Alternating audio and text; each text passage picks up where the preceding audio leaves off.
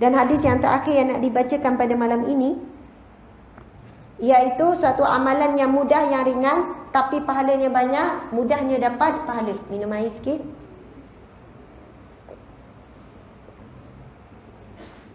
Bismillahirrahmanirrahim. Okey. Hadisnya panjang, saya baca terjemahan saja, masya-Allah. Hendaklah kamu jika aku beritahu tentang lelaki penghuni syurga di kalangan kamu. Ah, Nabi bersabda, Mahukah kamu jika aku beritahu tentang lelaki penghuni syurga di kalangan kamu? Ha, Nabi tanya. Jadi kita nak tahulah sama ada lelaki ataupun perempuan. Nabi Nabi sebut lelaki tetapi mewakili perempuan juga. Nabi ha, Nabi sebut Nabi di dalam syurga. Syahid di dalam syurga. Siddiq di dalam syurga. Bayi yang meninggal di dalam syurga dan juga seorang lelaki yang menziarahi saudaranya di pinggir kota semata-mata kerana Allah di dalam syurga. Hendaklah kamu jika aku beritahu tentang wanita penghuni syurga di kalangan kamu. Masya Allah. Tadi penghuni syurga di kalangan lelaki. Sekarang penghuni syurga di kalangan wanita. Ha. Wanita Nabi pun sebut. Wanita yang penyayang. Semua penyayang tak kat sini? Insya Allah. Banyak beranak. Banyak anak tak? InsyaAllah. Subhanallah. Ha. Setakat ni Ustazah ada tujuh orang anak. Ha. Alhamdulillah. Yang sulung dikatakan satu yang kecil dalam tiga bulan. Ha. Empat perempuan, tiga lelaki. Okey, ini disebutkan ni. Sebab bila banyak anak, perlu banyak sah, sabar. Perlu banyak usaha. Perlu banyak redha. Okey dan sering kembali jika ia berbuat salah dia akan berkata kepada suaminya ini tanganku di dalam tanganmu aku tidak akan dapat melelapkan mataku kecuali jika kamu redha okey dengar tak faham tak oh faham tu bila sebut bab isteri tu ya ha. Hadis riwayat Tabrani dalam Mu'jam Al-Kabir, hadis ini hadis ha-, Hasan Sahih Al-Jami'. Hadis yang hasan dan sahih. Saya nak ulang lagi sekali. Ha, sebab dah pukul sebelah malam ni kan. Bukan tuan-tuan puan-puan je mengantuk. Saya pun dah mula rasa nak tidur ni. Tapi kalau penceramah tidur memang pelik lah. Ha. Okey. Sekali lagi Nabi kata. Maukah kamu aku beritahu tentang lelaki penghuni syurga di kalangan kamu. Nabi pun sebut. Nabi kata. Nabi di dalam syurga. Orang yang syahid di dalam syurga. Orang yang sedik, orang yang sentiasa berkata benar, melakukan kebenaran di dalam syurga, bayi di dalam syurga dan juga seorang lelaki yang ziarah saudaranya di pinggir kota semata-mata kerana Allah di dalam syurga. Orang yang suka bersilaturahim, ziarah orang kerana Allah masuk syurga Nabi kata. Lalu ada hadis yang lain yang saya nak bacakan. Nabi bersabda, sesungguhnya ada seorang lelaki yang menempuh satu perjalanan nak pergi ziarah saudara dia. Lalu Allah memerintahkan malaikat untuk bertanya kepadanya.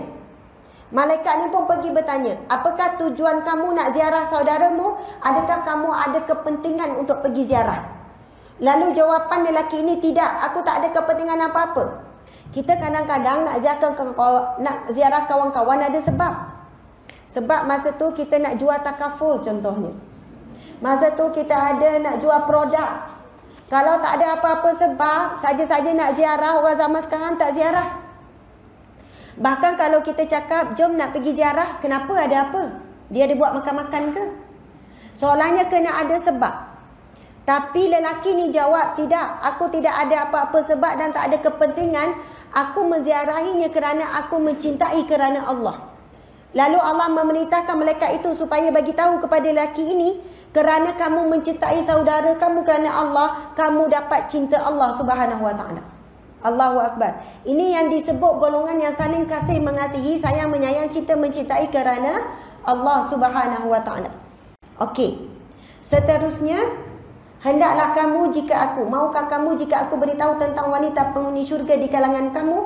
Iaitu Nabi kata wanita yang penyayang, yang kedua wanita yang beranak banyak dan yang ketiga iaitu wanita yang akan kembali kepada suaminya bila dia buat salah bila buat salah dia pergi jumpa suami dia lalu dia berkata ini tanganku di dalam tanganmu ha, maksudnya aku ini di dalam jagaanmu Aku tidak akan dapat lelapkan mataku kecuali jika kamu redha. Subhanallah. Iaitu isteri yang solehah.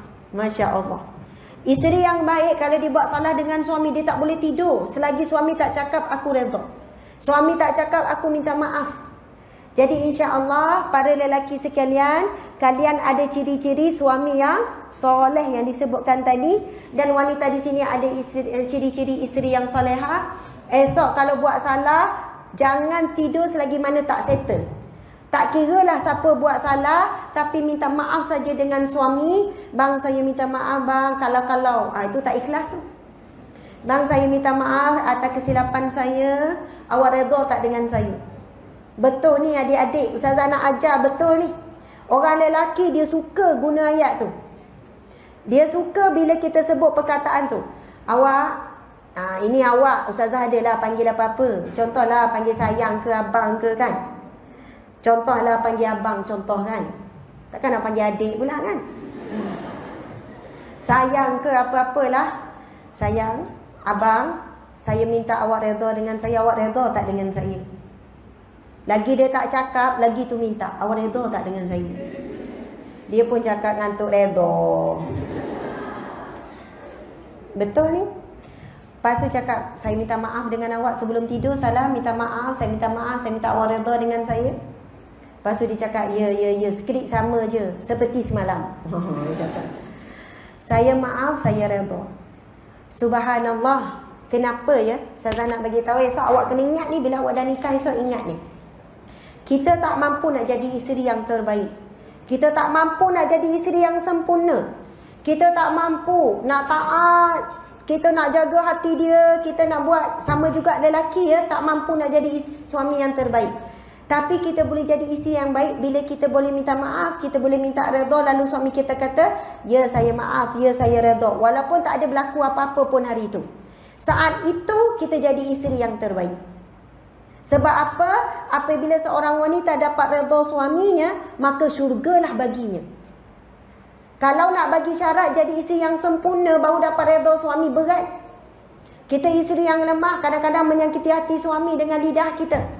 Kadang-kadang kita tak boleh nak layan dia dengan sempurna sebab kita ni tak puas hati, ada bengkak dalam hati. Kita pun muka masam, tak senyum. Betul. Sebab kita manusia biasa, kita mesti buat salah.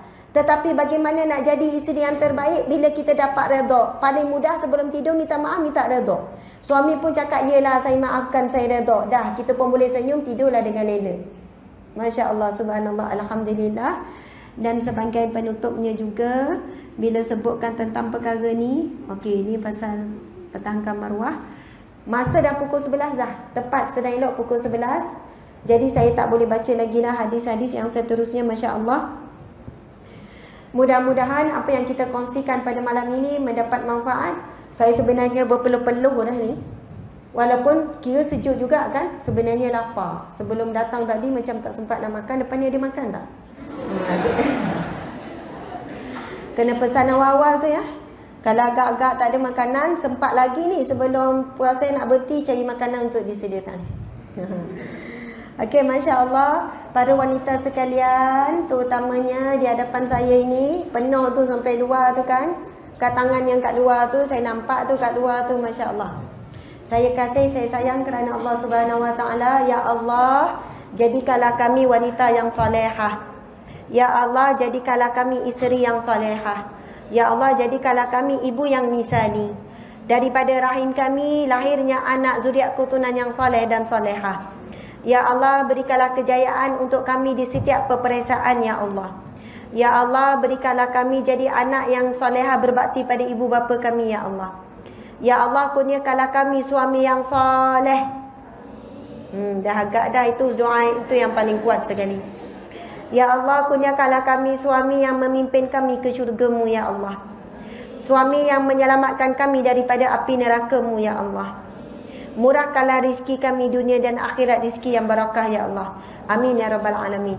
Ya Allah buat para lelaki yang berada di sini ya Allah, jadikanlah para lelaki di sini suami yang soleh. Jadikanlah mereka pemimpin kepada isteri mereka. Pemimpin kepada ahli keluarga mereka. Ya Allah jadikanlah para lelaki di sini ya Allah seorang lelaki yang menyambung perjuangan Rasulullah. Seorang lelaki yang menghidupkan sunnah Rasulullah iaitu solat berjemaah di masjid di surau ya Allah. Ya Allah jadikanlah para lelaki di sini kurniaan, kurniakanlah mereka ya Allah isteri yang solehah. Penyejuk hati, penyejuk mata ya Allah. Dan daripada isteri mereka lahirlah zuriat keturunan yang soleh dan solehah ya Allah. Jadikanlah mereka suami yang memimpin isteri ke syurga yang boleh menyelamatkan isteri dan ahli keluarga dan seluruh manusia ya Allah daripada api neraka-Mu ya Allah. Ya Allah, jadikanlah pelajar-pelajar di sini cemerlang pelajaran, cemerlang lulus dengan cemerlang ya Allah. Belajar yang ikhlas kerana-Mu ya Allah. Belajar yang taat kepada perintah-Mu ya Allah. Yang jaga aurat, yang jaga solat, yang jauhkan daripada ikhtilat pergaulan bebas ya Allah. Ya Allah, Ya Rahman, Ya Rahim, jadikanlah pensyarah di sini pensyarah yang ikhlas. Pensyarah yang, yang mendidik pelajar-pelajar kerana Allah. Pensyarah yang mendidik dengan akhlak yang mulia, Ya Allah. Para pensyarah yang boleh jadi contoh kepada para pelajar. Yang jadikanlah pelajar di sini menghormati pensyarah guru-guru mereka. Memuliakan pensyarah dan guru-guru mereka, Ya Allah. Dan jadikanlah kami semua di sini, Ya Allah, saling kasih berkasih sayang kerana-Mu, Ya Allah. Ya Allah, Ya Jami yang maha mengumpulkan. Sebagaimana engkau kumpulkan kami pada malam ini, kumpulkanlah kami kembali di syurgamu ya Allah. Bersama dengan Rasulullah sallallahu alaihi wasallam, bersama dengan para ibu bapa kami ya Allah, dengan sahabat-sahabat kami ya Allah, serta seluruh umat Islam ya Allah. Wa sallallahu ala sayidina Muhammad wa ala alihi washabihi wasallam. Alhamdulillahirabbil alamin. Amin ya rabbal alamin. Saya ambil kesempatan doa tu sebab malam ni malam Jumaat ni.